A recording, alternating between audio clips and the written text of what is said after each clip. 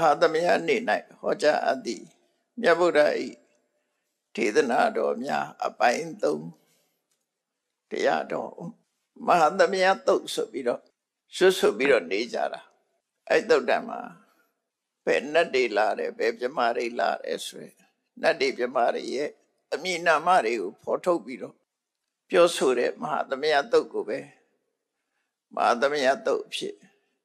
ဆွဆွနေကြတာဖြစ်တယ် အဲ့တော့တကယ်တော့အဲ့ဒီမဟာသမယနေမှာယန္နာဖြစ်ပြီးတဲ့တိုင်ဝိမင်းသား250နဲ့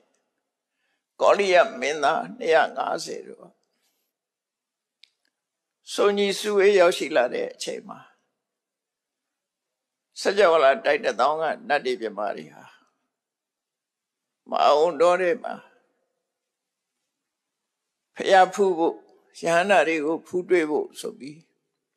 တရားနာဖို့ရောက်ရှိလာကြတာဘယ်နှမပြရတယ်အမေတများလာတဲ့နတ်တရဲ့ပေါင်းစုံမှုကိုအကြောင်းပြုပြီးမဟာသမယလို့ခေါ်တာများစွာသောနတ်တွေပြမာတွေဟာစုပေါင်းရောက်ရှိလာအဲ့ဒါလောက်များတာအမေတမရှားတယ်ပေါ့အဲ့ဒီမှာမြတ်စွာဘုရားဟောတဲ့တရားက လူသားအနေနဲ့ကယဟန္တာ900တော်ထဲမှာဟောတာဖြစ်တော့အဓိကကတော့ရှောက်ရှိလာတဲ့နတ်တွေပြမာတွေကိုဥတည်ပြီးတော့ဟောတဲ့တရားတွေပဲသို့တော့လေလူနဲ့နဲ့နဲ့ရတရဝချင်းကနိစ္စပြီးဆက်နွယ်နေတာဖြစ်တော့ကြောင့်လူပြည်မှာဟောတဲ့တရားမျိုးလိုပဲဟောကြတာပဲဟောကြတယ်ဆိုတာတွေးချရတယ်ပေါ့နော် အဲ့ဒီချိန်မှာတရားတော်ရဲ့ပုံမှုလေးနဲ့မှုပေါ်ရင်ထင်ရှားစေရန်အတွက်ပို့ပြီးတော့လဲနာယူတဲ့ပုဂ္ဂိုလ်တွေလွယ်ကူအောင်မိကုံးကိုဖြည့်တဲ့အနေနဲ့ဟောကြားတဲ့စနစ်ကိုအသုံးပြုတာဖြစ်တယ်။ဒါကြောင့်ရသော်ဘုရားကိုမိကုံးထုတ်ဖို့ဆိုတာတမန်ပုဂ္ဂိုလ်တွေကတမန်မိကုံးမျိုးသာထုတ်နိုင်တော့လေ လေးနဲ့တဲ့တရားဓမ္မနဲ့ပတ်သက်တဲ့မိကုံးမျိုးကိုထုတ်ဖို့ဆိုတာတမန်ပုဂ္ဂိုလ်မျိုးအနေနဲ့ခက်ခဲတယ်။ဒါကြောင့်မြတ်စွာဘုရားနေမိတဗုဒ္ဓဆိုတာကိုဘွားဖရာတဆူဖန်ဆင်းပြီးအဲ့ဒီကိုဘွားဖရာကမေးတဲ့မိကွန်းတွေကိုဖြစ်ဆိုတာဖြစ်တယ်မေးတဲ့မိကွန်းကတော့မိကွန်းတစ်ခုတည်းသာဖြစ်တော့လေဖြစ်ဆိုတဲ့အခါမှာ အကျယ်တဝဲအကြောင်းမျိုးမျိုးနဲ့ပြည့်စုံအောင်ဖြည့်ဆိုထားလို့15ဂါထာတောင်ရှိတယ်ပေါ့နော်ဒါကသမ္မာပြိပ္ပါစရိယတုတ်ပါနောက်တုတ်ဒီမှာလည်းပဲဒီလိုပဲနေမိတဖရာကမေးတာတွေကိုမြတ်ဗုဒ္ဓအစစ်ကဖြစ်ဆိုခဲ့တာတုတ်ပေါင်း6တုတ် နတ်တွေရဲ့ဇယိုက်က6မျိုး꿰နေလို့အခုသမ္မာပရိပါဇဏိယတုတ်မှာသမ္မာပရိပါဇဏိယတုတ်ကတော့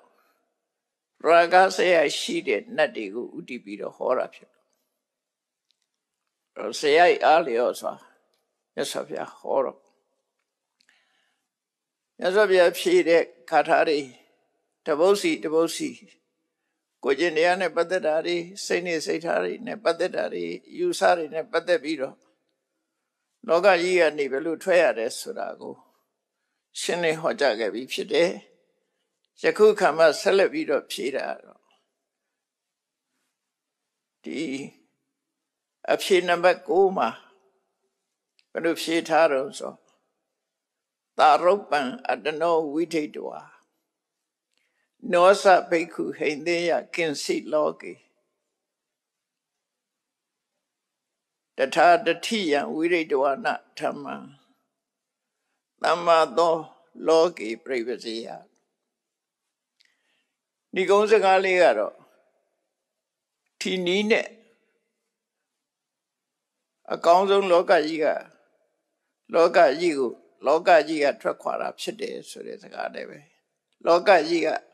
ဘလို့ထွက်ခွာတယ်လဲဆိုတာကိုဖြည့်ဆိုခြင်းဖြစ်တယ်ပေါ့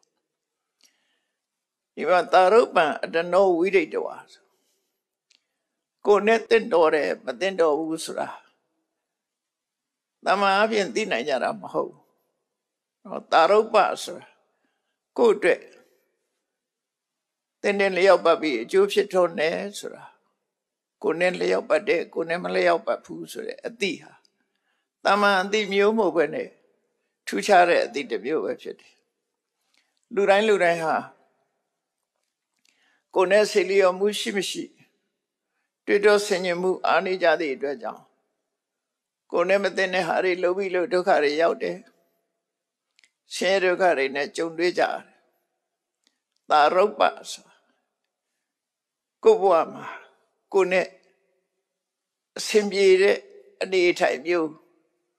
ကိုယ့်ဘဝမှာတရားဓမ္မနဲ့ပတ်သက်ပြီးတော့ဘဝအတွက်အကျိုးပြုမဲ့တရားဓမ္မမျိုးနဲ့ဘယ်လိုနေထိုင်မယ်ဆိုတာသိတာ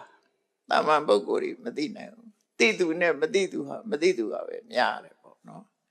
ဒါကြောင့်မလို့ပါရုပ္ပံအတနောဝိရိတဝါလောကကြီးကထွက်ဖို့အတွက်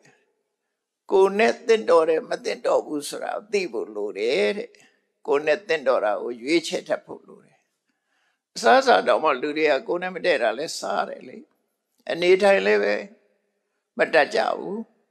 အစားတော့ကလည်းမတတ်ကြဘူးအသွားလာလည်းမတတ်ကြဘူးမတတ်သည့်အတွက်ကြောင့်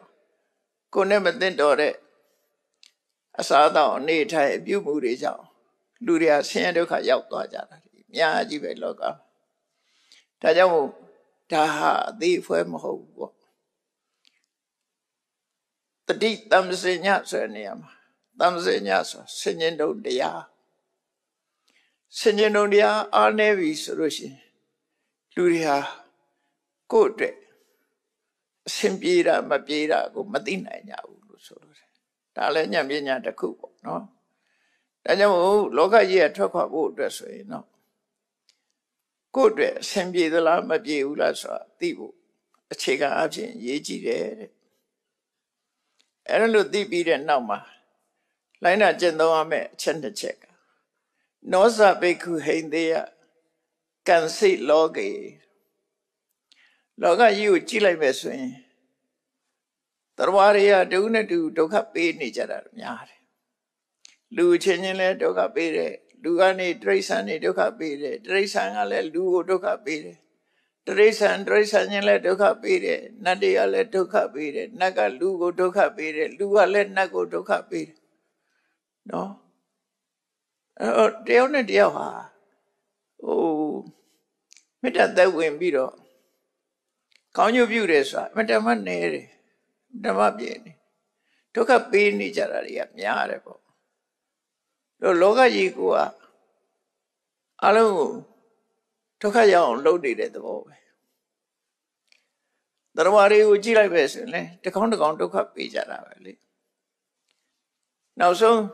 အစင်မြင့်မာတဲ့ဆိုရလူတွေကြည့်လေလူသားချင်းချင်းလည်းဒုက္ခပေးတာပဲနတ်ကိုသွားပြီးတော့လည်းဒုက္ခပေးတာပဲအယုတ်စိုးနဲ့တည်တစ်ပင်နေခုတ်တယ်ဆိုတာဒုက္ခပေးတာပဲလေတော်ရီမီးရှို့တယ်ဆိုတာလည်းဒုက္ခပေးတာအလုံးဟာ လူတွေကြောင့်ဒုက္ခရောက်ကြတာတွေကလည်းအများကြီးပဲတိရစ္ဆာန်တွေလည်းလူတွေကြောင့်ဒုက္ခရလူလူချင်းလည်းဒုက္ခပေးအဲ့ဒါလောကကြီးမှာကြီးမားတဲ့အကျင့်ပြတ်နေမှုတစ်ခုပဲတမ္မာမဟုတ်ဘူးဒါလောကကြီးဒုက္ခရောက်အောင်အကျင့်ပြတ်နေကြတာဖြစ်တယ်ဒါကြောင့်ဒီနေရာမှာလောကကြီးကထွက်ခွာရမယ့်ပုဂ္ဂိုလ်ဆိုရင် လောကထဲမှာရှိနေတဲ့အဆိုးတွေကိုပယ်ရှားဖို့လိုတယ်လေဒါကြောင့်မို့နောစပိက္ခုဟိန္ဒေယကင်စီလောကေလောကမှာဘယ်သူကမှဒုက္ခမပေးရဘူးဘယ်သူကမှဒုက္ခမပေးရဘူးလို့ဆိုလို့တယ်အဲ့ဒီအိဗေကစကလုံးလေးကကျင့်မိမဲ့လို့ဒါပဏာတိပတ္တကရှောင်းခိုင်းတာတို့နော်ဒုက္ခပေးတဲ့အရာတွေကရှောင်းခိုင်းကိုချင်းတရားမှာအမတမကြီးမားတဲ့ကိုချင်းတရားဖြစ်တယ် လူတွေကသရဝရီဒုက္ခပေးနေတာတနေ့တနေ့တန်းချီပြီးတော့တတ်နေကြတာ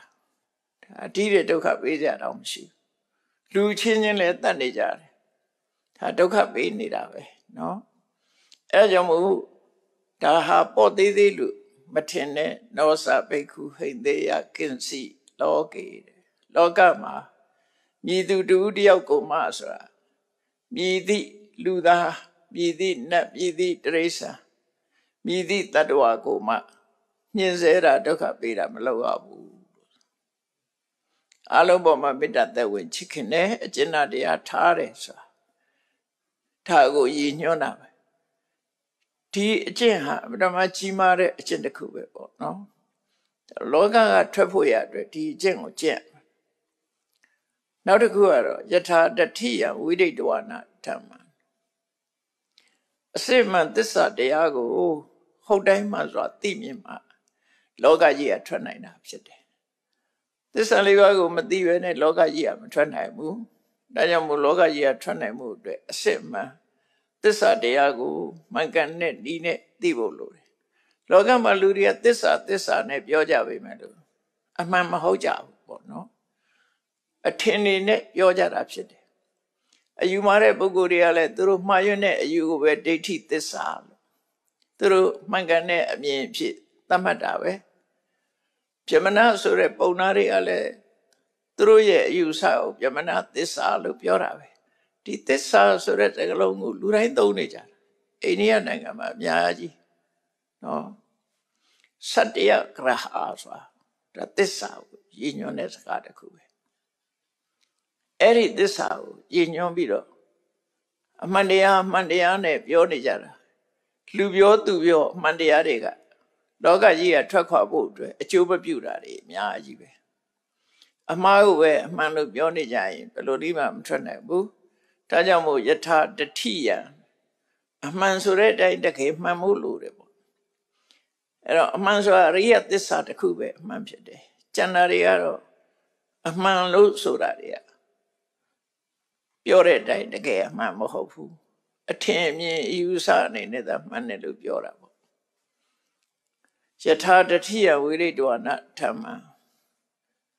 အရိယတို့သိရတဲ့မှန်ကန်တဲ့သစ္စာတရားကိုဟုတ်တိုင်းမှစွာသိတဲ့ပုဂ္ဂိုလ်ဟာလောကကြီးက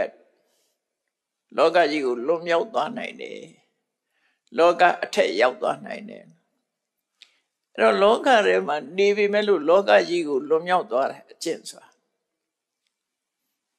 မနေ့ကပြောသလိုကြာပန်းဟာကြာဟာရေထဲမှာပေါက်တယ်ရှင်မျက်နှာပြင်မောတက်တယ်ကြာဝင်ပွင့်တယ်အဲ့ဒီကြာဘူးဟာရှည်ထဲမှာနေပြီမဲ့လို့ရှည်နဲ့ဆွဆွချင်းမရှိဘူးလိမ့်ကြံခြင်းမရှိဘူးညစ်ပေခြင်းမရှိဘူး ရှည်ထဲနေပြီမဲ့လို့ရေမလူဘူးလို့ဆိုလို့တယ်ပေါ့အဲ့ဒါလိုပဲမြတ်စွာဘုရားဟာလောကမှာပွေးတယ်လောကမှာပဲအရွယ်ရောက်တယ်လောကမှာပဲနေထိုင်နေသို့တော့မြတ်စွာဘုရားရဲ့ဒီဘဝဟာ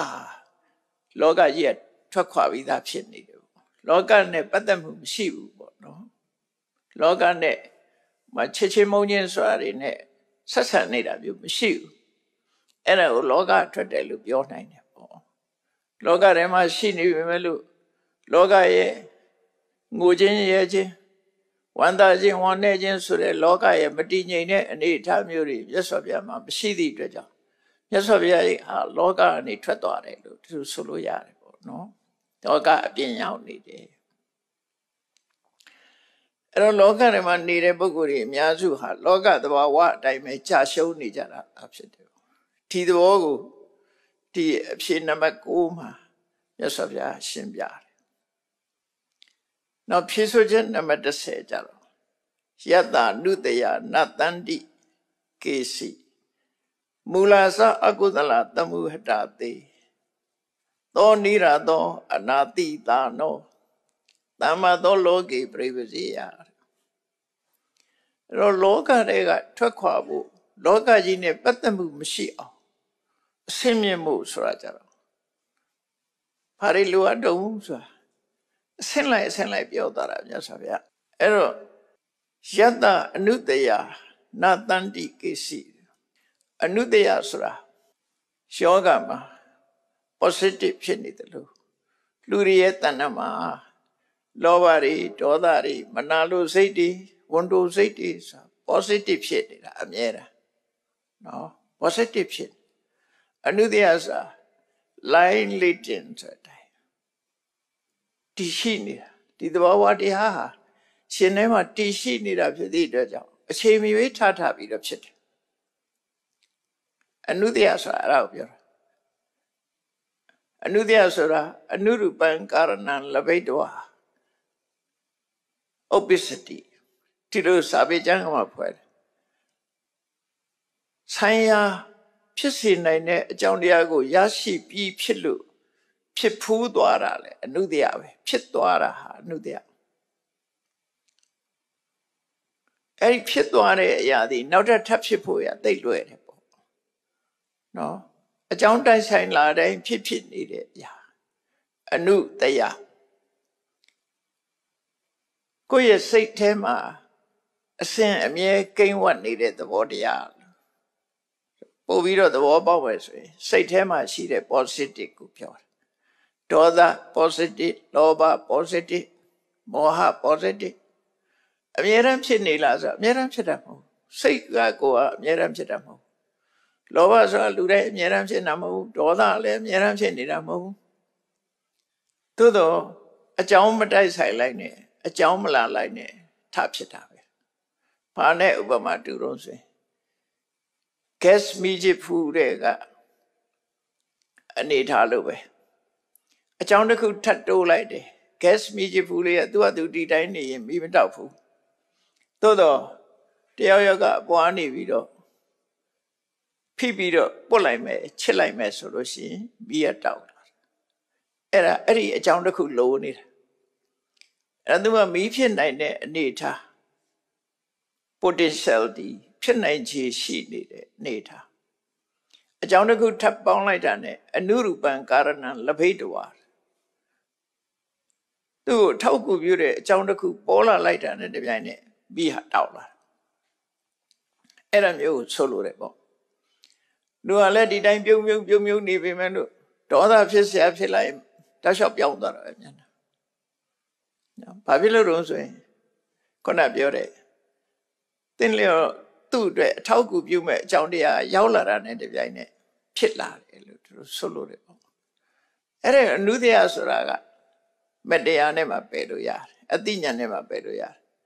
မြတ်စွာဘုရားယင်ထဲမှာတော့ဒေါသမဖြစ်ဘူးစိတ်ဆိုးအောင်ဘယ်လိုမှလုပ်လို့မရဘူးမြတ်စွာဘုရားလောဘဖြစ်အောင်လည်းဘယ်လိုမှသွေးဆောင်လို့မရဒါကြောင့်မို့မနတ်ရဲ့သမီးတွေမြတ်စွာဘုရားကိုလာဖြောင်းရောင်းတဲ့အခါမှာမြတ်စွာဘုရားလုံးဝစိတ်ဝင်စားတာ ဒီအနုတ္တယမရှိလို့ပဲနော်အနုတ္တယမရှိတော့ဘူး potentiality possibility မရှိတော့ဘူးဒါကြောင့်မို့လို့မြတ်စွာဘုရားရဲ့မှာတဏ္ဍမှာလောဘဖြစ်စရာအကြောင်းမရှိဘူးအကြောင်းကိုဖယ်ထားတာအနုရူပံကာရဏံလဘိတဝါဆိုသင်လျော်တဲ့အကြောင်းကတော့လာရတယ်လေနတ်သမီးပဲအလွန်လှတဲ့နတ်သမီးတွေပြတော့လေဘလောက်ပဲ နှစ်သက်စရာမျက်နှိုးစရာပဲဖြစ်ဖြစ်မြတ်စွာဘုရားစိတ်ထဲမှာစိတ်ဝင်စားမှုဆိုတဲ့တဏှာရာကပလာတော့ကြည့်တယ်အဲ့သဘောကိုပြောတာနော်မြတ်စွာဘုရားမျိုးမျိုးစိတ်ဆုံးအောင်လုပ်တယ်ကြောက်အောင်လုပ်တယ်ကြောက်တဲ့သဘောတရားကဒေါသပဲအဲ့ဒီဒေါသကလည်းအနုတ္တိယတောင်မရှိတော့သည့်အတွက်ကြောင့်ဘလို့မှဖြစ်မလာတော့ ဘာနဲ့တူတော့ဆိုခုန gas မိချစ်တယ်မှာ gas မရှိတော့ဘူးဘိန်းလုံးလည်းမရှိတော့ဘူးဆိုပုတ်ချင်တော့ပို့ပြီးမထွက်တော့အဲ့သဘောမျိုးပဲအဲ့တော့လောကမှာအစိုးတရားတွေဖြစ်လာတာဟာအခြေအနေကအခြေခံတစ်ခုရှိနေလို့သာဖြစ်တယ်အဲ့ဒါကိုအနုတ္တယလို့ခေါ်တယ်အနုတ္တယကိလေသာသူကဘယ်လိုနေရာမှာဖြစ်တတ်တာတော့ဆို ဒုက္ခယဝေဒနာယရာဂနုတေယောနုတေတိတဲ့ဒုက္ခဖြစ်လိုက်တာနဲ့စိတ်ချမ်းသာကိုချမ်းသာလေးကြုံလိုက်တာနဲ့ရာဂနုတေယဆိုရာဂဆိုတာပေါ်လာတယ်အစင်မပြေလိုက်နဲ့ပြေလိုက်တာနဲ့ရှားခြင်းနဲ့စိတ်လိုခြင်းနဲ့စိတ်ဒါမျိုးလေးကိုသိမ့်ပိုက်ထားခြင်းနဲ့စိတ်ကအလိုလျောက်ပေါ်လာတာ ဖေကနေခေါ်နေကြအောင်လို့အဲ့ဒါပြောတာအနုရူပံကာရဏံလဘိတဝဥပ္ပစ္စတိအနုတယအဲ့ဒါဒုက္ခဝေဒနာနဲ့တွေးလိုက်တာနဲ့တပြိုင်နက်စိတ်ချမ်းသာကိုယ်ချမ်းသာဖြစ်ပြီးတော့သဘောကျကျေနပ်ပြီး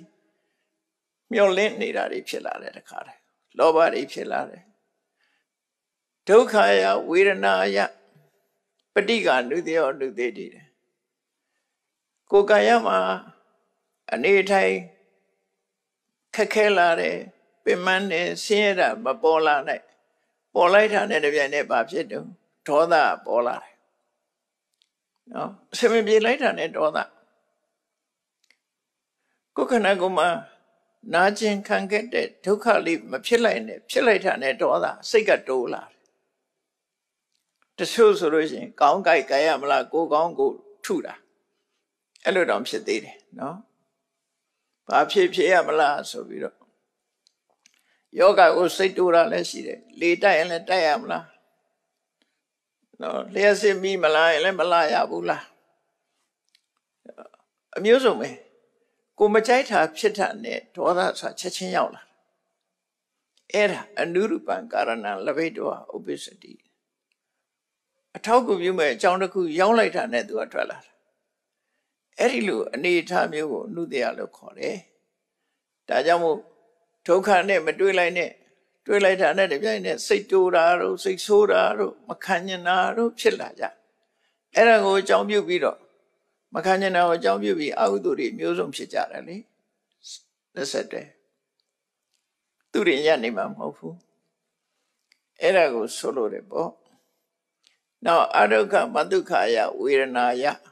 အဝိဇ္ဇာနုတေယောနုတေတိတဲ့အစင်ပြေတာလည်းမဟုတ်ဘူးအစင်မပြေတဲ့ဒုက္ခလည်းမဟုတ်ဘူးဒုက္ခလည်းမဟုတ်ဘူးမတိတာတဲ့ခံစားချက်လေးကြတော့လူကမတိပြန်ဘူးအတိမှမပြုတ်တော့သိရှိမှုမတိပဲနဲ့ကြောဖြတ်လိုက်ပြန်ရောအဲ့ဒီစိတ်ခံစားချက်ကြတော့လူတွေကမတိပဲနဲ့ကြောဖြတ်ရတာဖြစ်တော့ကြောင့်အမှန်မတိလိုက်တဲ့ဖုံးခွယ်လိုက်တဲ့အရာတစ်ခုဖြစ်သွားတယ် အမောင်လေးအမောင်ထဲမှာဖြစ်သွားတယ်လို့ဒီအဒုက္ခမဒုက္ခဆိုတဲ့ဒုက္ခလည်းမဟုတ်ဒုက္ခလည်းမဟုတ်မထင်ရှားတဲ့ခံစားချက်လေးကြတော့လူကမသိလိုက်သည့်အတွက်ကြောင့်ဘာကိန်းလို့အဝိဇ္ဇာနုတယနော်မသိလိုက်တာဒီပင်နဲ့အနုတယတစ်ခုပဲအဝိဇ္ဇာနုတယကိန်းသွားတယ်အဲ့တော့စိတ်ခံစားချက်နဲ့ပတ်သက်ပြီးတော့ဘယ်ခါပဲဖြစ်ဖြစ်စိတ်ခံစားချက်နဲ့ပတ်သက်လာလို့ရှိရင် ပုရုဇဉ်တွေမှာရာဂတိုးလိုက်ဒေါသတိုးလိုက်အဝိဇ္ဇာဆိုတဲ့မောဟတိုးလိုက်ဒီလိုပဲဖြစ်အဲ့ဒါနဲ့ကိလေသာတွေကထူကျင်တိုင်းထူပိမ့်ကျင်တိုင်းပိမ့်လာတော့အဲ့ဒါကိုချစ်ထုတ်ဖယ်ရှားဖို့ဆိုတာဘယ်လွယ်မလဲနော်တရားဥရဖို့များလွယ်တယ်မလွယ်ဘူးတချို့မလေးသောတာပန်ဖြစ်မှတောင်ပတော်တဆသောတာပန်ဖြစ်တော့မှကြောက်တဲ့လူကရှိသေးတယ် ဖြစ်ဖို့ဆိုတာအမတမခဲရင်ပါတယ်နော်တရားဥတရားမြတ်ဆိုတာရဖို့အမတမခဲရင်ပါတယ်တမန်တိလေးနဲ့တရားဥတရားမြတ်ဆိုတာရနိုင်တာမှမဟုတ်တာအဲ့တော့အနုတယသဘောတရားတွေကိလေသာတွေဟာကိုယ့်ရင်ထဲနှလုံးထဲမှာအချိန်ချင်းအထက်ထက်ဖြစ်တယ်ဒါမို့တစ်ခါတလေကျတော့အနုအနုသေးတိထပ်တလဲလဲထပ်ထပ်ပြီးတော့ဖြစ်နေတာညနေပါအဲ့ တော့လူတွေကြည့်လိုက်လေလောဘဆိုတာဘယ်နှခါဖြစ်ဘူးလို့ဒေါသကဘယ်နှခါဖြစ်ဘူးလို့အကျဉ်းကိုမရေမတွက်နိုင်အောင်ဖြစ်ဘူးတယ်လေအဲ့ဒီပထမတစ်ခါဖြစ်တာနဲ့ဒုတိယတစ်ခါဖြစ်တာအင်အားဒုတိယတစ်ခါဖြစ်တာပိုကောင်းသွားတယ်တတိယတစ်ခါဖြစ်ရင်အဲ့ဒီတဲ့ပိုကောင်းသွားတယ်ချောသွားတာမဟုတ်ဘူးထပ်ဖြစ်တိုင်းထပ်ဖြစ်တိုင်းအင်အားတွေကမြင့်မြင့်မြင့်မြင့်လာတာဆိုဖယ်ဖို့ရခက်တယ်ခက်လာတယ်ပေါ့သူဆိုလို့လေနော် အနုအနုသေးတိတိအကျဉ်းချင်းထပ်ထပ်ရင်ထဲမှာဖြစ်ဖြစ်လာတဲ့ကိလေသာတွေအဲ့တော့လောကကြီးကထွက်ဖို့ဆိုတာလောကကြီးနဲ့ပတ်သက်မှုမရှိဘူးဆိုတာအမတမခဲနေဒါကြောင့်ယတအနုတယနတ်တန္တိကေစီတယ်ဘယ်လိုအနုတယမျိုးဘယ်လိုကိလေသာမျိုးရှင်ထဲမှာအကျဉ်းချင်းဖြစ်တဲ့ကိလေသာမျိုးဆိုတာမရှိစေရဘူး မရှိမှလောကကြီးကထွက်နိုင်မယ်။နှုတ်ဆိုရင်လောကထဲမှာတဝဲလဲလဲပဲဖြစ်အောင်မယ်သူဆိုလို့ရပေါ့နော်။မူလသအကုသလသမုဟတတိအကုသိုလ်မူလတွေအကုသိုလ်ရဲ့အမြစ်တွေအကုသိုလ်ရဲ့အခြေခံတရားတွေအကြောင်းတရားတွေကိုဖယ်ရှားပြီးသားဖြစ်ရမယ်ဖယ်ရှားပြီးသားဖြစ်မှလောကကြီးကထွက်နိုင်မှာလောကနဲ့ပတ်သက်မှုမရှိမှာ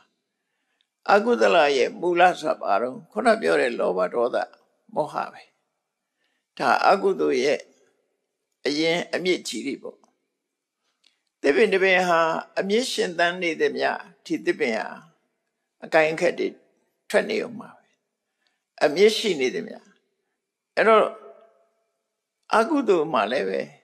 အမြင့်ရှိနေတဲ့မြအကုသိုလ်တွေကရှင်သန်နေအောင်မှာပဲမကောင်းတဲ့စိတ်တွေက လောဘဒေါသဆိုတဲ့လောဘဒေါသမောဟဆိုတဲ့အမြင့်တွေရှိနေတဲ့မြကလပတ်လုံးအညွန့်နေတက်တွေအပွင့်နေသီးတွေလားနေအောင်မှာပဲလို့ဆိုလို့တယ်အဲ့ဒါကြောင့်မို့အမြင့်ဆိုတဲ့လောဘဒေါသမောဟတွေကိုဖယ်ရှားပြီးသူဖြစ်ရမယ်တဲ့ပယ်နှုတ်ပယ်နှုတ်ပြီးသားဖြစ်ရမယ်သောနိရသောအနာတိတာနောအဲ့လိုပယ်လိုက်ပြီဆိုလို့ရှိရင်ဘာဖြစ်တော့ သူဟာဘာကိုမှစိတ်ထဲမှာတောင်းတောင်းတတာမရှိတော့အမှန်တရားသိသွားရင် တောင်းတမှုမရှိတာဟိုဆွဲလန်းမှုမရှိတော့တာတဏှာမရှိတာကိုပြောတာနိရာတော့နိအာတော့အာသာဆိုတဲ့လူချင်းဆန္ဒတဏှာမရှိဘူးလူတွေမှာအာသာနှမျိုးရှိတယ်စီဝိတာတာတဏှာတာ သက်ရှင်ရင်နာစီဝိတာတာစီဝိတအသက်ပေါ်မှာတွေ့တာလားတဏှာတာဆိုတာပစ္စည်းဥစ္စာပေါ်မှာတွေ့တာလား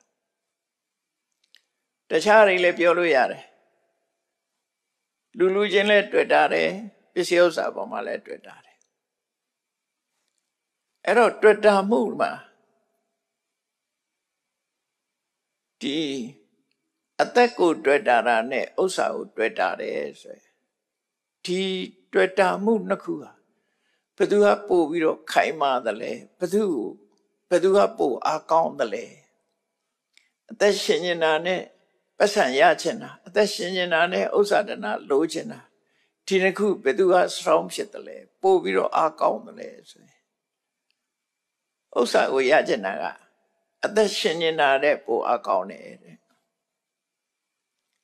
နော်တမန်အဖြစ်တော့လူတွေကအသက်ကိုပိုးတွေ့တယ်အောင်မိတာအသက်ကိုမတွေ့ဘူးပု္ပ္ပာကိုပိုးတွေ့တယ်လူတွေကဘာလို့လို့ဆိုရင်အသက်စွန့်ပြီးတော့စစ်တိုက်နေကြတယ်လေရှားလာမဲ့အခွင့်အရေးကိုပို့ပြီးတော့လိုချင်သိချင်းသေးပါစေဆိုလို့တယ်နောက်တကပစ္စည်းဥစ္စာရဖို့ဆိုရင်မိုင်းနေမှာလှုပ်လှုပ်တဲ့လူတွေကြည့်ဟုတ်တွင်းနဲ့ကြီးတွေဆင်းပြီးတော့ကြောင်မီတွေတွန်းတာတို့ ရွှေကျင်တာတို့အသက်စွန့်ပြီးလုံနေကြတာသူတို့အသက်နှမျောရင်အန္တရာယ်ရှိတာပဲလုံတယ် dangerous ဆိုတဲ့နေရာပဲသွားမလဲဒါပေမဲ့ dangerous ဆိုတဲ့နေရာကိုသွားတာဘာလို့လို့သွားတာတုံးဆိုပတ်စံရချင်လို့ပဲညပတ်စံကိုတွေ့တာပူများတဲ့ဆိုဟုတ်တယ်ပတ်စံကိုတွေ့တာတဲ့ဥစ္စာတဏှာကိုတွေ့တာတဲ့တဏှာပူဆောင်းဖြစ်တယ်အသက်ကိုတောင်စွန့်ပြီးတော့ပတ်စံရှာကြတယ် အဗဒံမအနေကြီးမားတဲ့ပင်လယ်ခီးကြီးတွေကိုဖြတ်တန်းပြီးတော့ငွေကြေးရနာရှာဝေကြတယ်လေငွေကြေးရနာရှာတကယ်အနေကြီးတာအဲ့ဒါတော့အသက်ကိုမတွေ့တာလို့ဥစ္စာကိုတွေ့တာလို့လူတွေဟာအသက်ဆုံးပြီးတော့ပတ်စံရအောင်ဥစ္စာဒနာရအောင်ကြိုးပမ်းနေကြတာဒါသက်တည်တာရကပဲဖြစ်တယ်ပေါ့အေတဏမရှိတော့ဘူးဆိုရင်နိရာတာ အသက်လည်းမတွေ့တာတော့ဘူးဥစ္စာကိုလည်းမတွေ့တာတော့ဘူးဘဝကြီးကိုလည်းမတွေ့တာတော့ဘူးတဲ့ခုနပြောတဲ့အကုသိုလ်ရဲ့အမြင့်တွေဖယ်နှုတ်ပြီးသားပုဂ္ဂိုလ်အနုတရာတွေမရှိတော့တဲ့ပုဂ္ဂိုလ်ဟာဘာကိုမှတွေ့တာမှမဟုတ်ဘူးမတွေ့တာယုံနေမကဘူးအနာတိတာနောနောင်ဆိုတာကိုလည်းမျှော်လင့်ချက်ရှိတာမဟုတ်တော့ မတွေ့တာရင်လူတွေကတွေ့တာဘူးကိုအကြောင်းပြုပြီးတော့ဘာဖြစ်ချင်လဲဆိုတာရှိတယ်လေအတိတလို့ခေါ်တယ်သူကြတော့အနာတိတနော်နာအတိတအတိတမရှိတော့ဘူးမဖြစ်ခြင်းနဲ့ညာဖြစ်ခြင်းနဲ့ဆိုတာမရှိတော့လူတွေဟာမျောလင်းခြင်းနဲ့အသက်ရှင်နေကြတယ်ဆိုတာဒီအတိတပဲလေတဏှာရဲ့သဘောပဲအဲ့တော့ အနာဂတ်ကိုမျောပြီးတော့မျောလင်းချက်တွေနဲ့ဘဝကြီးမှာဖြတ်တန်းနေကြတာဖြစ်သည့်အတွက်ကြောင့်လောကကြီးကထွက်ခွာဖို့ဆိုတာမဖြစ်နိုင်တော့ဒါကြောင့်မို့အနုတရားဆိုတဲ့ကိလေသာတွေကင်းရမယ်အကုသိုလ်ရဲ့အရင်မြင့်ဖြစ်တဲ့လောဘဒေါသမောဟကိုဖယ်ရှားပြီးသားဖြစ်ရမယ်နော်အထူးသဖြင့်တွေ့တာမှုကြီးမားတဲ့ အာသာဆိုတဲ့တဏှာကိုဖယ်ရှားနိုင်ရမယ်မျောလင့်တောင်းတချက်တွေမရှိတဲ့လူဖြစ်ရမယ်အဲ့ဒါဆိုရင်တမ္မာသောလောကေပြိပဇေယဒီတရားကနတ်တွေကိုဟောနေတဲ့တရားနော်အဲ့တော့နတ်တွေကလည်းဘယ်လောက်တွေ့တာမှုတွေရှိမှမမသိတာလူတဲ့ပို့တွေ့တာလောက်တယ်နတ်ကလူတွေရဲ့ချမ်းသာက နတ်ချမ်းသာနဲ့စားလို့ရှိရင်ပင်လယ်တွေကရေတစ်စက်လောက်ပဲရှိတာလို့ပြောတာလူချမ်းသာနဲ့နတ်ချမ်းသာအဲ့တော့နတ်တွေရဲ့ချမ်းသာမှုကပိုကြီးမားတယ်ပိုကြီးမားတော့ပိုပြီးတော့တွေ့တာတယ်သူတို့ပိုပြီးတော့တွေ့တာမှုတွေပိုများတယ်သူတို့အဲ့ဒါကြောင့်မို့မြတ်စွာဘုရားနတ်တွေကိုတွေ့တာမှုတွေရှော့ချဖို့အတွက်ထီအဖြေကိုဖြေပြီးတော့ ရှင်းလင်းဟောကြားတာဖြစ်တယ်ပေါ့နော်အဲနောက်၁၇ခုမြောက်အဖြေကြတော့ဗာပေးတော့ဆိုအာတဝခိနောပဟိနမာနောသဗ္ဗံရာဂပဋ္ဌံဥပတိဝတ္တောတန်တော်ပြိနိဗ္ဗူတောထိတတ်တော်ဒါယဟနာရဲ့ဂုံကြီးတွေကိုပြောနေတာ ဆိုလိုတာကတော့ယဟနာဖြစ်မှလောကကြီးနဲ့ပတ်သက်မှုမရှိမှာတာမန်ပုဂ္ဂိုလ်တွေကတော့ပတ်သက်မှုရှိနေမှာနော်တာမန်ပုဂ္ဂိုလ်တွေကတော့ပတ်သက်မှုရှိနေတာပဲအကုန်လုံးလောကကြီးကငိုရင်ငိုမယ်လောကကြီးကပြုံးရင်ပြုံးမယ်မဲ့ရင်မဲ့မယ်ဒီလိုတွေဖြစ်နေတာလောကနဲ့ပတ်သက်နေတဲ့ပုဂ္ဂိုလ်တွေအဲ့တော့ယ ahanan ပုဂ္ဂိုလ်ကြတော့ပြုံးခြင်းမဲ့ခြင်းမရှိတော့ဘူးလောကနဲ့ပတ်သက်ပြီလောကရဲ့ လောကကိုကြောင်းပြုပြီးတုံ့လှုပ်တာခြောက်ခြားတာမရှိတော့ဘူးအဲ့ဒါကြောင့်အာတဝခိနောအာတဝဆိုတဲ့ဟာကဘာကိုပြောတာတော့ဆိုကမ္မတဝဘဝတဝဒိဋ္ဌတဝအဝိဇ္ဇတဝလို့တမန်အဖြစ်ပြီးတော့မှအာတဝတရား၄ပါးတရားကိုကောက်မယ်ဆိုရင်တော့လောဘဒိဋ္ဌိမောဟဒီ၃ခုပါပဲ လောဘဒိဋ္ဌိမောဟဒီ၃ခုကိုဆိုလို့တယ်ဒီတရားတွေရဲ့နေပဲဟာအလွန်ကျဲတယ်ဒါကြောင့်မို့အာဆိုတာအတိုင်းတာတစ်ခုသဝဆိုတာစီးဝင်တာဖြစ်တာနော်အတိုင်းတာတစ်ခုဘယ်နေထိအောင်ရောက်တယ်ဆိုတာသူ့ရဲ့ခြေပြန်းတဲ့နေကိုဖော်ပြခြင်းတော့အဲ့ဒီအမည်နဲ့ပြောထားတာအာသဝ ဘုံအားဖြင့်ဘဝထီအောင်ရောက်တယ်ဆိုတော့32ဘုံရဲ့ထိတ်ထီအောင်ဒီအာသဝရောက်တယ်32ဘုံလုံးအနှံ့ရောက်တယ်လို့ပြောချင်တာပေါ့သူမရောက်တဲ့နေရာမရှိတော့အဲ့ဒီအာသဝကလောဘတို့ဒိဋ္ဌိတို့မောဟတို့ကလွတ်ကင်းတဲ့နေရာမရှိဘူးလောကထဲမှာဆိုရင်အဲ့ဒါကြောင့်အာသဝဓမ္မနေရာပြောမယ်ဆိုလို့ရှိရင်ဘုံအားဖြင့်ဘဝထီအောင်အ ထိတ်ထိတ်ဆုံးဘုံထီအောင်ရောက်တယ်ဓမ္မအားဖြင့်ဆိုလို့ရှိရင်သူ့ရဲ့နေပယ်ဟာဘယ်ထီအောင်ရောက်တော့ဆိုဓမ္မအားဖြင့်ခုတ္တရဘူးဆိုတာဆိုလိုတာကတော့ဒါကဘာပြောတာတော့ဆိုသူမရောက်တာကခုတ္တရဘူးနဲ့ဟိုဘက်ဘက်တို့ဖိုးတို့ကြတော့သူသူမရောက်နိုင်တော့သူလမ်းဆုံးနေပြီအဲ့တော့သူရောက်နိုင်တာသူ့ရဲ့အာယုံပြုတဲ့နယ်ပယ်ကခုတ္တပူရဲ့ထိဖဲမှာအာယုံပြုနိုင်တ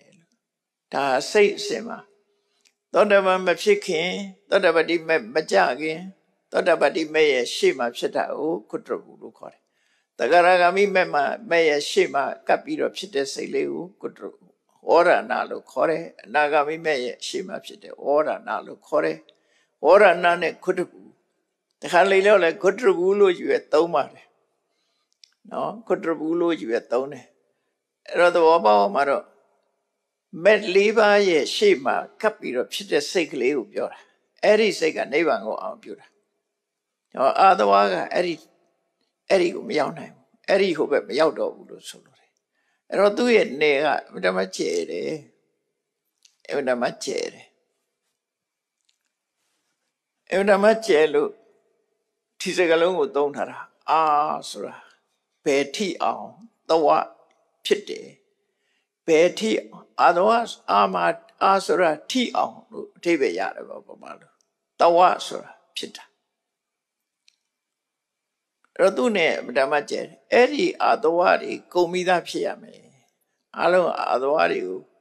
ဖယ်ရှားလိုက်လို့အလုံးကုန်သွားတယ်နောက်တနည်းအဓိပ္ပာယ်ကတော့အာသဝဆိုတာအချိန်ချင်းအထက်ထပ်ဖြစ်နေသည့်အတွက်ကြောင့်ဘာနဲ့တူတော့ဆိုစိတ်ရည်အရက်နဲ့တူတယ်ပေါ့ ရှင်းမှုစေတယ်နော်ရှက်ပေါင်းကြာရှိစွာစိန်ထားတဲ့စိတ်ရည်ရှင်းမှုစေတတ်တဲ့ရှက်ပေါင်းကြာမြင့်စွာလှုပ်ထားတဲ့စိတ်ရည်အရက်လူတရားတွေကိုယဉ်မှုစေတတ်တဲ့အရာအဲ့ဒါကိုအသဝလို့ခေါ်တယ်နောက်တမန်အပြည့်ပြောမှဆိုရင်အာသဝဆိုတာကိလေသာအလုံးကိုလည်းအာသဝလို့ခေါ်တယ်နော် အဲ့တော့ခိဏသဝကြတော့အာသောလေးပါးပါယူလို့ရှိရင်ကာမဂုဏ်အာယုန်ဒီပေါ်မှာတွေ့တာတဲ့လောဘဘဝသဝလို့ဆိုတာဆံရဲ့ဆံကိုအခြေခံပြီးရရှိတာတဲ့ရူပဘုံအရူပဘုံဆိုတဲ့ပြမဘဝကိုတွေ့တာတဲ့လောဘကာမကလွတ်တော့ရူပရောက်သွားရူပအရူပပြမဘဝကိုတွေ့တာပြန်ထိဋ္ဌသဝဆိုမာယွနဲ့အမြင် ဒိဋ္ဌသဝကပကားပြမကြီးတောင်မှပဲသွားပြီးတော့မာယွနဲ့အမြင်นี่ဖြစ်တယ်လေပြမမှာလည်းဖြစ်တယ်အမှန်တမ်းနေကြတယ်လို့ဆိုလို့တယ်အဝိဇ္ဇာသဝဆိုတော့မပြောနဲ့တော့အမှန်မသိတာတွေမှန်သမျှအဝိဇ္ဇာဖြစ်တယ်ဒါကြောင့်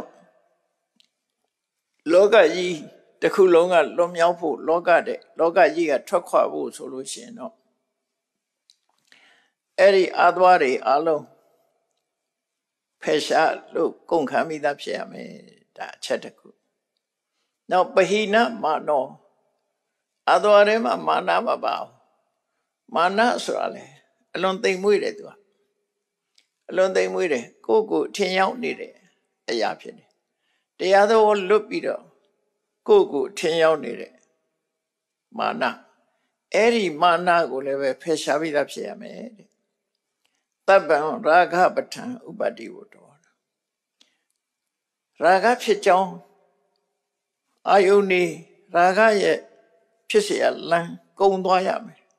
ရာဂဖြစ်ကြောင်းတရားဟုသမျှကြော်လွန်ပြီးသားဖြစ်ရမယ်အဲ့တော့ရာဂမှာမရှိရင်ရာဂဖြစ်ကြောင်းတရားဘလောက်ပဲရှိရှိ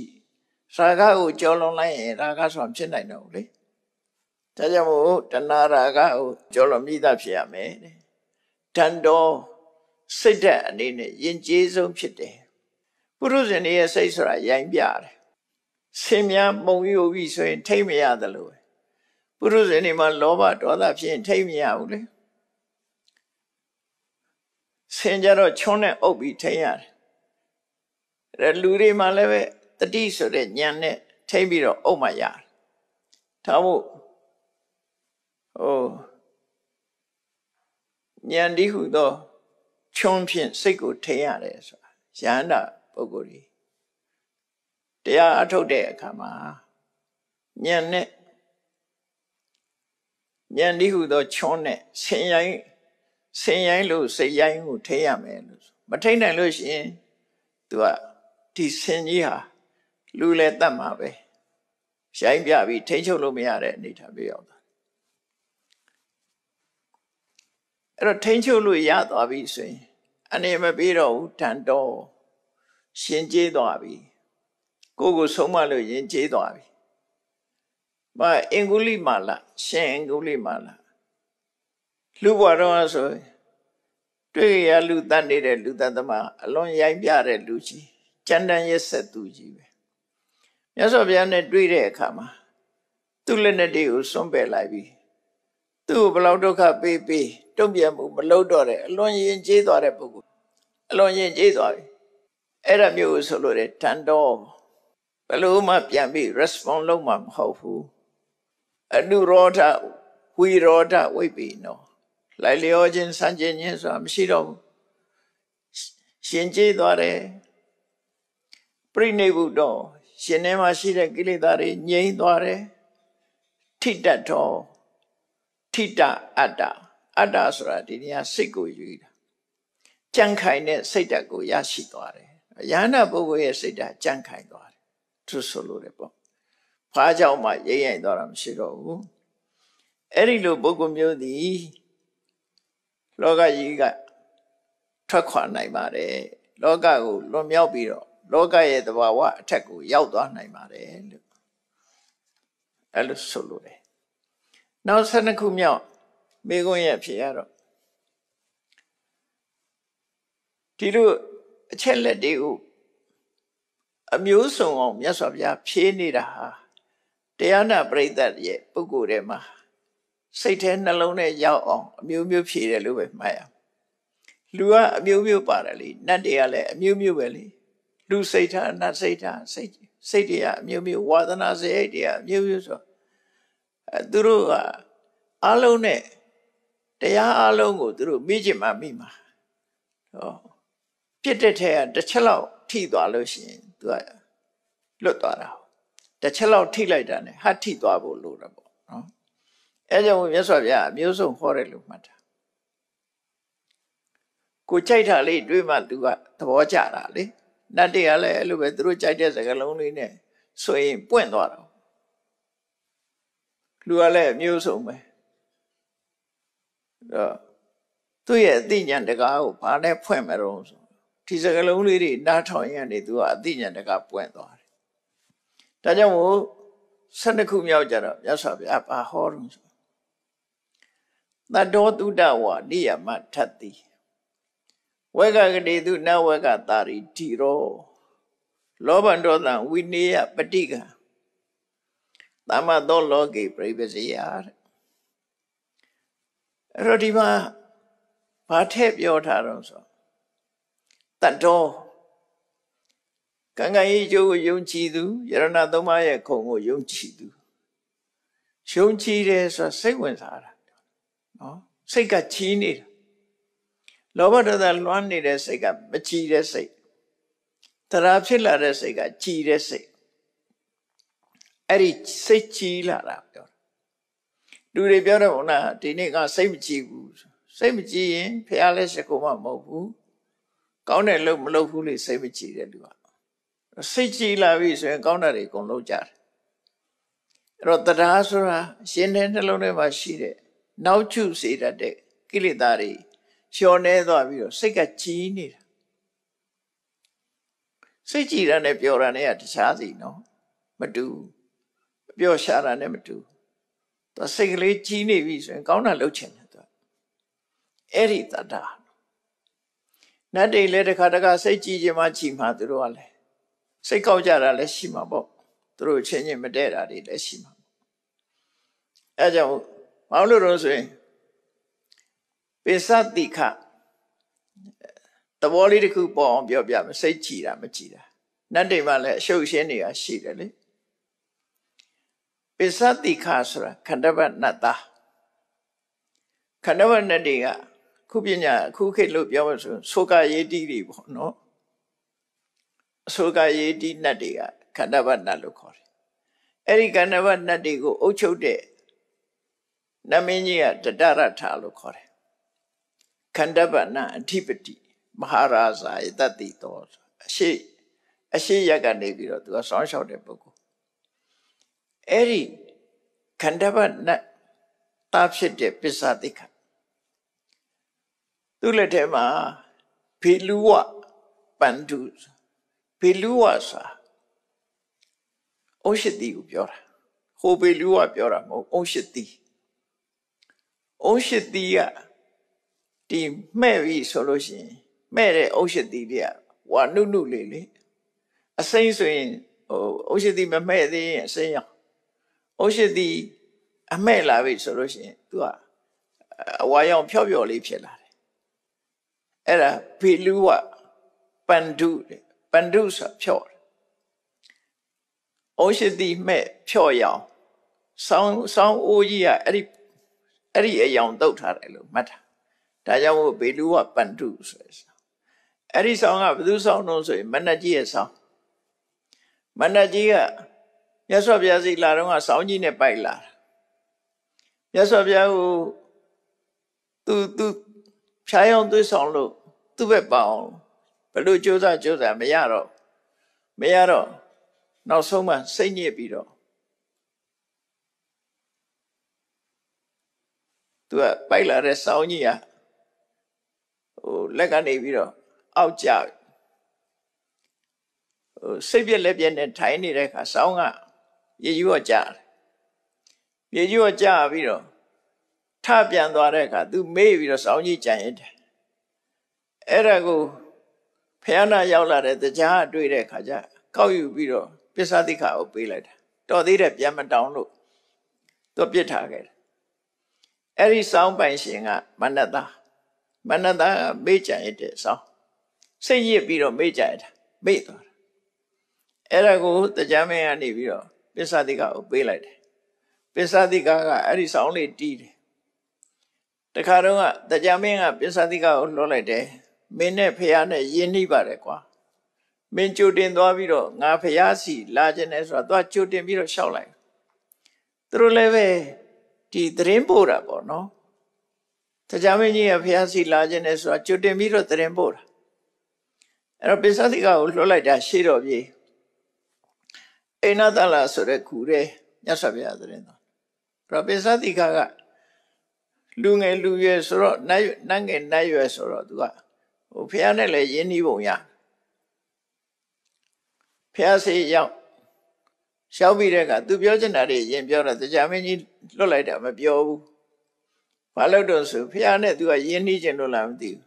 တချင်းဆိုပြီးတော့စောင်းတီးတယ်ပင်စာတိခါဆို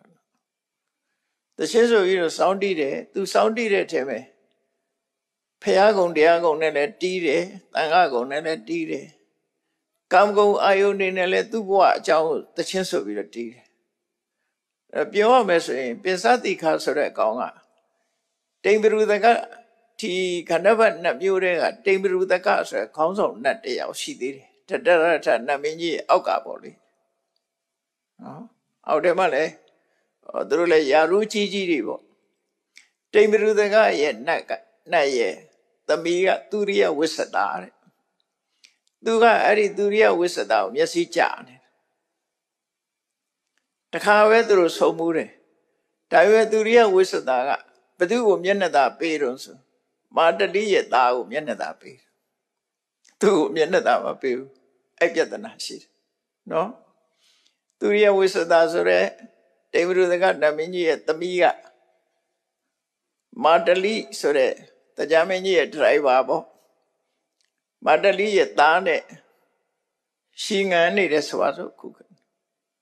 သူနဲ့ပဲမျက်နှာသာပေးနေတယ်အဲ့တော့မာတလိသားနဲ့သွားတွဲနေတယ်အဲ့ဒါကိုပစ္စတိခါကဖះရှိမှလာပြီးတော့တချင်းဆိုပြီးတော့သူတချင်းဆိုတာဘာတော့ဆိုနော် ဝန္ဒီဟံပိတရံပတ္တိတိမ်ပရုံသူရိယဝစ္စတိသူ့ဖေကိုရှ िख ိုးပါတယ်သူ့သမီးလူကျင်တော့သူ့ဖေကိုရှ िख ိုးပါတယ်ဆိုတချင်းဆက်ထားတယ်အဲ့တချင်းနဲ့မြတ်စွာဘုရားရှေ့မှာလာတီးပြီးတယ်အဲ့လိုတီးတဲ့အခါမြတ်စွာဘုရားကသူ့ဟာသူတီးလို့ပြီးသွားတဲ့အခါကျတော့ပိဿတိကမင်းစောင်းတဲ့နဲ့သချင်းတန်ကလိုက်လျောပါတယ်လို့ ဆိုလိုတာမြတ်စွာဘုရား appreciate လုပ်တာမင်းသချင်းနာတော့လို့ကောင်းလိုက်တာကွာထပ်တီးစမ်းမအောင်ဆိုပါအောင်လို့တော့ပြောမပြောဘူးသို့တော့ကောင်းတာကိုကောင်းမှသိတယ်မြတ်စွာဘုရား appreciate လုပ်တာမင်းစောင်းတဲ့နဲ့သချင်းကမတမ်းမလိုက်ဖက်ပါတယ်လို့ပြောလိုက်တာသူကသဘောတွေကြာပြီးတော့တရားမင်းကြီးကဒီကောင်ကြားနေတဲ့သချင်းတွေဆိုပြီးတော့ကြားနေတယ်ဆိုပြင်းမဲ့ကနေတရားမင်းကလှမ်းပြောတယ် ငါမှလိုက်တာအလျှောက်လေးဆိုအဲ့ကြမှာသူလျှောက်တယ်နော်ဖြစ်ရပုံကတော့အဲ့လိုနောက်တော့တရားမင်းကြီးကဖះစီရောက်လာတဲ့အခါသူမေးချင်တာတွေမေးမေးတော့မြတ်စွာဘုရားဖြည့်ဆိုပြီးတရားကဘလောက်ကံကောင်းသွားတော့ဆိုသူသေးမဲ့အချိန်ကဖះရှိမှတရားလျှောက်ရင်နဲ့အချိန်ကစီသွားတယ်အဲ့ဒီမှာသေပြီးတော့ချက်ချင်းတရားပြန်ဖြစ်သွားတယ်အဲ့တော့သေမှမသိလိုက်ဘူး အဲ့ဒီလိုင်ကူတွေကထွက်တော့သူကတရားအစ်စ်ကလေးမွေးမွေးခါစားတရားလေးပေါ့ဒါပေမဲ့လူလိုဖြည်းဖြည်းကြီးနေရတာမဟုတ်တော့မသိကြမြတ်စွာဘုရားကသိတယ်တရားအိုကသေပြီးတော့တရားပြူလေးဖြစ်နေပြီသူကအဲ့တော့ပင်စတိခါလျှောက်ပေးလို့ငါမြတ်စွာဘုရားစီအဲရှောရှူရှူကြရရဲဆိုပြီးတော့တရားမင်းကြီးကသူ့လိုချင်တဲ့သူရိယဝိသတာနဲ့ လူကြီးကစီစဉ်ပေးလိုက်တယ်ဆိုတော့အဲ့ဒါနဲ့သူရသွားတယ်သူရိယဝိသတာနတ်တွေကိုသူရသွားနော်အဲ့တော့နတ်ပြည်မှာလည်းအရှုပ်ရှင်းနေရရှိတယ်ပေါ့အဲ့ဒီဟာနဲ့ပတ်သက်လာတော့ဒီနလောကမှာလည်းပဲအမျိုးစုံရှိတယ်ဆိုပြောတာနော်လူမျိုးစုံနတ်မျိုးစုံရှိဒါကြောင့်မို့တတ်တော်ကုသိုလ်ကောင်းမှုပေါ်မှာစိတ်ဝင်စားတဲ့နတ်ရှိတယ် မဟုတ်တဲ့စိတ်ဝင်စားတဲ့နတ်ကလည်းရှိတယ်အရက်တောက်ခြင်းတဲ့နတ်ကလည်းရှိတယ်ဆုံးပဲနတ်ကလည်းဒါကြောင့်မို့လို့လူပြေကမကောင်းတဲ့လူနဲ့ဆိုရင်မကောင်းတဲ့နတ်ကပေါင်းတယ်သူတို့လူပြေမှာတစုံတစ်ခုအကြောင်းပြုပြီးတော့ကွဲကြပြဲကြတယ်ဆိုရင်အဲ့ဒီနတ်တွေကလည်းပဲသူတို့နဲ့သဘောတူရပါတာပဲမြမတိအောင်ကွဲတယ်လို့ပြောတယ်ကောသမီဖျားကောသမီယဟန်နေအယူဝါဒနဲ့ကွဲပြားတဲ့ခါမှာနတ်တွေကလည်းအုပ်စုလိုက်ကွဲသွားတယ်။အော် သူ့ထောက်ခံတယ်ငါထောက်ခံတယ်ပေါ့နော်။အဲ့ဒီလူတွေဖြစ်နေရှိကြတယ်ပေါ့။အဲ့ကြောင့်မို့နတ်ပြည်မှာလည်းလိုအပ်ချက်တွေရှိတော့တတ်တော်စိတ်ကြည်နူမှုတွေရှိတယ်။တုတ္တဝါဘောဓုတများသူဖြစ်ရမယ်။နိယမထတ္တိစာနိယမဆိုမတရားကိရိတာကိုဖယ်နိုင်တဲ့အရိယမက်ကို တွေ့မြင်ပြီးတဲ့ပုဂ္ဂိုလ်ဖြစ်ရမယ် ဝက်ကကတိတုနဝက်ကတာရိထီရောလောကလူတွေကအုပ်စုကွဲနေတာတွေကများတယ်သူအုပ်စုကိုအုပ်စုဒါတဘာဝပဲနတ်တွေမှာလည်းပဲအုပ်စုကွဲတယ်လူတွေမှာလည်းအုပ်စုကွဲနေတယ်အဲ့ဒီအုပ်စုကွဲနေတဲ့ထဲမှာအုပ်စုကွဲတာကိုသဘောကျတဲ့ပုဂ္ဂိုလ်ရှိတယ်အုပ်စုပညာရှင်တွေကတော့အုပ်စုကွဲတဲ့နောက်ကိုမလိုက်ဘူးတဲ့လောဘဒေါသဝိနည်းပဋိကံလိုချင်တမတဲ့လောဘတွေ မုန်းတီးတဲ့ဒေါသတွေဆန့်ကျင်မဲ့လုပ်တဲ့ပဋိကဆိုတဲ့ဒေါသတွေအဲ့ဓာတွေစိတ်ထိတ်ခိုက်မှုတွေဒါတွေကိုအလုံးဖယ်ရှားနိုင်တဲ့ပုဂ္ဂိုလ်ဟာလောကကြီးရဲ့အထက်ကိုရောက်ပါတယ်လို့ဒီဖြစ်ရတယ်လို့ဖြေတာနော်နောက်တစ်ခါတန်တုဒ္ဒစီနောဝိဝတိစရောဓမ္မေတုဝတိပါရကုနေသောသင်္ခါရនិရောဓညာနာကုတလောတမ္မာသောလောကေပြိပစေယ တန်တုဒ္ဒစီနောတန်တုဒ္ဒဆိုတာကိရိတာအညစ်အကြေးတွေကိုတုတ်တင်ရှင်းလင်းနိုင်တာမက်ပဲဖြစ်တယ်အဲ့ဒီစိတ်ရဲ့ချီနူးစရာချီနူးမှုကိရိတာတွေကိုတန်ဆင်ပေးတဲ့မတရားဖြင့်အောင်နိုင်ပြီးတဲ့ပုဂ္ဂိုလ်ကိလေသာကိုအောင်နိုင်ပြီးတဲ့ပုဂ္ဂိုလ်ဖြစ်ရမယ်တဲ့ဝိဝတ္တစရောတန်တရားထဲမှာလည်းပတ်နေတဲ့ဝတ္တုံးမှာ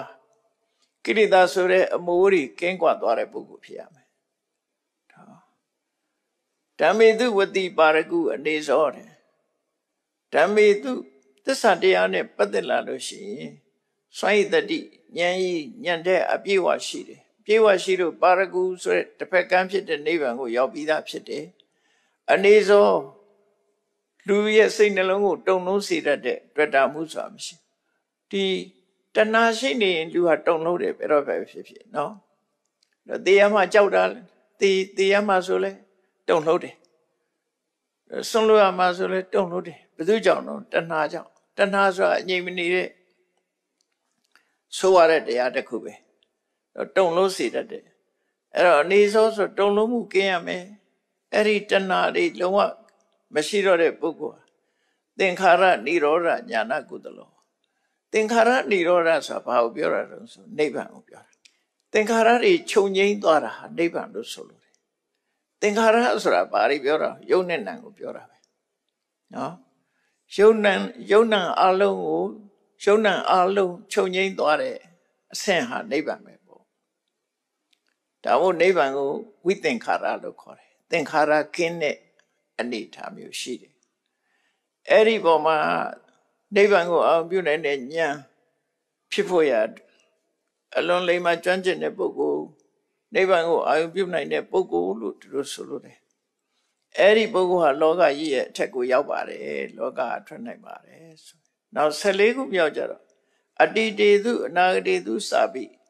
ကပ္ပတိတောအဋ္ဌိစ္စသုတ်တုပြင်သုတ်တိပညောတဗ္ဗယရဏိဟိဝိပမုတ်တောတမ္မာသောလောကေပြိပစေယဒီ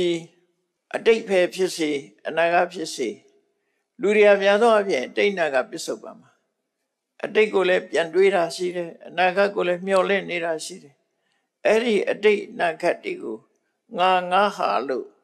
တဏှာအတွေးဒိဋ္ဌိအတွေးတွေကိုလွန်မြောက်ပြီးတဲ့ပုဂ္ဂိုလ်ဖြစ်ရမယ်လောကလူတွေဟာသူ့ဟာသူဖြစ်နေတဲ့သဘာဝတရားကိုငါလို့တွေးတယ်ငါဟာလို့တွေးတယ်အဲ့ဒါကြောင့်မို့လို့ခိလေသာတွေတိုးပွားပြီးတော့ဖြစ်နေကြတာဖြစ်တယ်ဒါကြောင့် အတိတ်ခန္ဓာအနာဂတ်ခန္ဓာတွေကိုငါငါဟာလို့တွေးတောကြံစီမှုတွေကိုလွန်မြောက်ပြီးတဲ့ပုဂ္ဂိုလ်ဖြစ်ရမယ်တဲ့အတိတ်ဆသုတ်တိပညာတယ်အလွန်ကိုစင်ကြယ်တဲ့ပညာရှိရမယ်ဒါမဲ့ပညာကိုပြောတာသဗ္ဗယတနေဟိပွိပမုတ်တော်အာရဏအလုံးကလွန်မြောက်တယ်ဆိုတာရှုကရောနာငါရောအလုံးလွန်မြောက်တယ်လို့ဆိုလိုတယ်ပေါ့ယုတ်တရားနဲ့တရားအလုံးကလွန်မြောက်သွားတာအဲ့ဒါလို့ ခန္ဓာကိုယ်လွန်မြောက်သွားတဲ့ယန္တာပုဂ္ဂိုလ်ဟာလောကကြီးနဲ့ဆက်ဆက်မှုမရှိဘူးလောကကြီးရဲ့အပြင်ကိုရောက်တယ်လို့သူတို့ဆိုလိုတယ်ပေါ့နောက်15ခုမြောက်အဖြေကြတော့အညာယပဋ္ဌံသမစ္ဆာဓမ္မဝိဝတံဒိဋ္ဌဝါနပဟာနမာသဝနာတဗ္ဗုပတိနံပြိခယနောတမ္မသောလောကေပြိပစီယဒါကနောက်ဆုံးမြတ်စွာဘုရားဖြေတဲ့အဖြေ အညာယပဋ္ဌံသမစ္ဆာဓမ္မသစ္စာတရားကိုသိပြီးတဲ့အခါမှာနိဗ္ဗာန်ကိုမြင်တယ်မှန်တယ်သစ္စာတရားကိုသိမှနိဗ္ဗာန်ကိုမြင်တာနိဗ္ဗာန်ဆိုတာအချင်းချင်းပြောမယ်သစ္စာနဲ့ပြောမယ်ဆိုရင်ဒီဥပါဒณะခန္ဓာ၅ပါးတဏမတပါကာမဘုံကာမဘဝရူပဘဝအရူပဘဝမှာရှိတဲ့ရှုံဏခန္ဓာ အဲ့ဒါတွေကဒုက္ခသစ္စာအဲ့ဒီယုံဏခန္ဓာရဲ့အကြောင်းဖြစ်တဲ့တဏှာကသမုဒိယသစ္စာအဲ့ဒီဒုက္ခနဲ့သမုဒိယနှစ်ခုလုံးမဖြစ်တာကនិရောဓသစ္စာဥပိ္ပနံအပဝတိနော်ဒုက္ခနဲ့သမုဒိယအကြောင်းနဲ့အကျိုးဒီနှစ်ခုစလုံးမဖြစ်တော့ဘူးဆိုရင်ဒါနိဗ္ဗာန်နိဗ္ဗာန်ကိုဖော်ပြတဲ့အခါမှာဒီရထားတဲ့ခန္ဓာကဒုက္ခသစ္စာ ထိုခန္ဓာရခြင်းအကြောင်းဖြစ်တဲ့တဏှာကသမုဒိယသစ္စာအဲ့ဒီဒုက္ခနဲ့သမုဒိယနှစ်ခုမဖြစ်တော့တာကនិရောဓသစ္စာမဖြစ်ခြင်းအကြောင်းကိုကျက်ဆောင်ပေးနိုင်တာကမက္ကသစ္စာလို့အဲ့တော့သစ္စာလေးပါးကိုသိလိုက်လို့ရှိရင်ဒါပြည့်စုံသွားတာဒါမို့သစ္စာတရားကိုအတိအသီးသိပြီးတော့အာတဝကင်းတဲ့ဖြင့်ပွင့်လင်းမြင်သာတဲ့နိဗ္ဗာန်ကိုမြင်ပြီးခန္ဓာကာမဂုဏ်ကိလေသာအဖိသင်္ခါရ ခန္ဓာ၅ပါးရဲ့ကာမဂုဏ်ရဲ့ကိလေသာရဲ့အဖိသင်္ခါရဆိုတဲ့ကံတရားအဲ့ဒီဥပရိတရားတွေအလုံးကုံဆုံးသွားတဲ့ယဟန္တာပုဂ္ဂိုလ်ဟာလောကကြီးနဲ့ဆက်ဆံမှုမရှိပါဘူးတဲ့လောကကြီးရဲ့အပြင်ကိုရောက်ပါပြီလို့အဲ့ဒီမဟာသမယနေ့မှာမြတ်စွာဘုရားကရာဂဆရာရှိတဲ့နတ်တွေကိုဥတီရည်ညွှန်းပြီးတော့ဒီအဖြေကိုပေးလိုက်တာဖြစ်ပါတယ်အဲ့ဒီအဖြေပေးလိုက်တာကို မေကုံထုတ်တဲ့နေမိတဘုရားကချီးမွမ်းစကားပြောတယ်နော်ချီးမွမ်းစကားပြောတယ်အတ္တာဟိဘဂဝတထေဝဧတံတကယ်ကို ရှင်ဘုရားပြောတဲ့အတိုင်းမှန်ပါတယ်နော်ပြောတဲ့အတိုင်းမှန်ပါတယ်ယောသောဧဝံဝိဟာရိတံတော်ဘိက္ခုရှင်ဘုရားပြောတဲ့အကျင့်တရားအတိုင်းနေထိုင်ပြီးတော့ရှင်ကျေးတဲ့ပုဂ္ဂိုလ်သဗ္ဗတံယောဇနယောဂဝိတိဝတ္တောတွေ့တာမှုတွေချီနှောင်မှုတွေနှောင်ကြိုးတွေအလုံးက လွတ်မြောက်ပြီးတဲ့ပုဂ္ဂိုလ်ဟာတဲ့လောကကြီးရဲ့အထက်ကိုရောက်ပါတယ်လို့ထောက်ခံပြီးတော့ချီးမွမ်းစကားပြောလိုက်တာနေမိတာဘုရားကအရှင်မြတ်ဟောသမျှလုံးဝမှန်ပါတယ်တဲ့မြည်သူပဲဖြစ်ဖြစ်ယခုလိုကျင့်သုံးနေထိုင်ပြီးစိတ်ဓာတ်ယဉ်ကျေးပြီးတန်ရောစင်နဲ့ယောဂဟုသမျှလွန်မြောက်တဲ့ပုဂ္ဂိုလ်ဟာလောကကြီးရဲ့အထက်ကိုရောက်ပါတယ်လောကကြီးကထွက်ခွာနိုင်ပါတယ်လို့ဒီလို ချီးမွမ်းစကားပြောပြီးတော့ဒီတမ္မာပရိပါဇနိယတုတ်ကိုအဆုံးသတ်ထားတယ်မှတ်တမ်းအနေနဲ့ကတော့ဒီသုတ်တံရသော်ပြဟောလို့ပြည့်စုံသွားတဲ့အခါမှာတဲ့အဲ့ဒီမှာရောက်လာတဲ့နတ်ပြမာတွေကတော့ခတိတသိန်းနဲ့နတ်ပြမာတွေယဟနာဖြစ်သွားတယ်ဒီတရားနာရတာနဲ့ယဟနာဖြစ်သွားတာခတိတသိန်းရှိတယ်အဲ့တော့သူတို့ရဲ့စရိုက်တွေကိုကြည့်ပြီးတော့အဖြေကို15မျိုးထုတ်ပေးတာ သို့တော့အဖြေတစ်ခုနဲ့တစ်ခုကွဲတာတော့မဟုတ်ဘူးအလုံးကတူညီတဲ့အဖြေတွေပဲသို့တော့ဟောကြားပုံကြီးကပြည့်စုံတာရှင်းညွှန်းတာမတူဘူးပေါ့နော်ဟိုရဲမော highlight လောက်တာမတူဘူးလို့ပြောရမှာပေါ့နော်မြတ်စွာဘုရားဘာကိုဥစားပေးဖြေတယ်ဘာကိုဥစားပေးဖြေတယ်ဆိုတာတော့ရှိမယ်ဒါဒါသူတို့ရဲ့ဇယိုက်ကိုကြည့်ပြီးတော့ဥစားပေးဖြေတယ်သဘောအဲ့ဒါလို့ဖြေလိုက်တဲ့အခါမှာဂရေတသိန်းသောနတ်တွေဟာ သောတပန်ဖြစ်တဲ့ပုဂ္ဂိုလ်ယန္တာဖြစ်ကြတယ်သောတပန်ဖြစ်တာတို့တဂရကံဖြစ်တာတို့အနာကံဖြစ်တာတို့ကြတော့ခဏန်းကိုမထားနိုင်ဘူးလို့ဆိုလိုတယ်ခဏန်းမှတ်တမ်းနဲ့ပို့သွားပြီလို့ပြောတာနော်ခုနဂရေတသိန်းဆိုတဲ့မှတ်တမ်းနဲ့ပို့များသွားပြီလို့ပြောတာဒါကြောင့်မရေမတက်နိုင်ဘူးလို့ပြောလိုက်တယ်အဲ့တော့အမတမနတ်တိပြမတွေအတွက်များစွာအကျိုးဖြစ်တယ်မဟာသမယနေ့မှာဟောကြားတဲ့ တမ္မာပြိပ္ပဇနိယသုတ်တံဟာဒါမဟာသမယသုတ်အစ်စ်ဖြစ်ပါတယ်ဒီတရားကိုဟောသည့်အတွက်ကြောင့်မြတ်ဗုဒ္ဓရဲ့တရားကိုနာယူပြီးအသိဉာဏ်ထက်မြက်တဲ့ရာဂဆဲရှိတဲ့နတ်တွေမြမတွေဟာအကျွတ်တရားရပြီးတော့နိဗ္ဗာန်ကိုမျက်မှောက်ပြုသွားကြတာဖြစ်လို့တရားချစ်ခင်သူတော်စင်ပြိဿအပေါင်းတို့ဟာလည်းဒီတရားတော်ကိုနာယူမှတ်သားကြပြီးတော့မဲ့ဖို့နိဗ္ဗာန်ကိုရအောင်ကျင့်ကြံကြိုးကုပ်ပွားများအထောက်နိုင်ကြပါစေကုန်သတည်း